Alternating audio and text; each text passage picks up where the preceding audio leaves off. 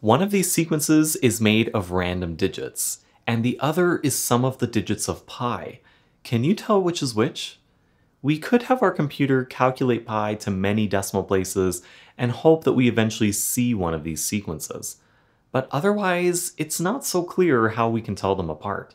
The digits of pi are fixed and predetermined, so they're not random. But the digits of pi look random. Why is that? All the digits from 0 to 9 show up around 10% of the time. In the first trillion digits of pi, the ratios are nearly perfect.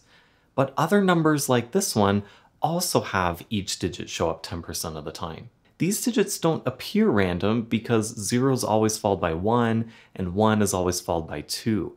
If digits are chosen uniformly at random, then in the long run, every two-digit sequence should show up with the same frequency. In the long run, we should see 4-2 as often as 3-9 or 7-1.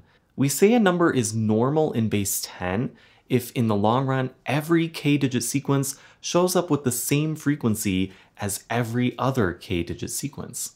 We can state this rigorously by taking a limit. Say we have a sequence of k digits.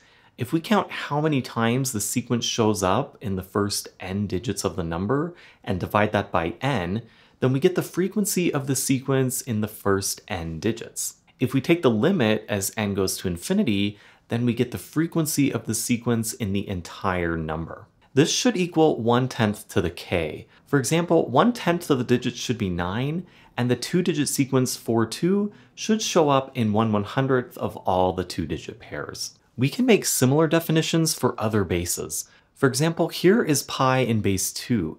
Do these appear to be random ones and zeros, like if we repeatedly flipped a fair coin? For pi to be normal in base 2, we need to check that 0 and 1 both have long-term frequency 1 half. And then we also have to check that 0, 0, 0, 1, 1, 0, and 1, 1 each have long-term frequency 1 fourth, and so on for all the longer sequences. If a number is normal in all integer bases greater than or equal to 2, then we say that that number is normal or absolutely normal. Now some numbers are not normal, like 0.5. In fact, every rational number is not normal, since eventually its decimal expansion repeats. But there are some numbers that we know are normal in base 10. Here's one of them. After the decimal point, list all the natural numbers in order. 1, 2, 3, up to 9, and then 10, 11, and so on. This is called the Champernowne constant. This number is normal in base 10. It iterates through all possible sequences of k digits by counting through the natural numbers. But it's unknown if this number is normal in any other base. We can create a similar number by listing all the prime numbers in order after the decimal point. This is called the Copeland-Erdős constant. It goes 0.2, 3, 5, 7, 11, 13, and so on. This number is also normal in base 10. So is pi a normal number? Well, no one knows for sure, but many mathematicians believe that it is. Other irrational numbers like the square root of 2 or e are also believed to be normal, but no one has a way to prove it. But there are some results that are known. We know that there are uncountably many numbers that are not normal. That's so many that we can't enumerate them in a list. But also, Borel proved that almost all real numbers are normal. This is a technical term from measure theory. It means if we take all of the real numbers that are not normal and look at them as a set, that set has measure zero. So in a sense, its length is zero. Even though there are uncountably many non-normal numbers, the set of them is so small that it has measure zero.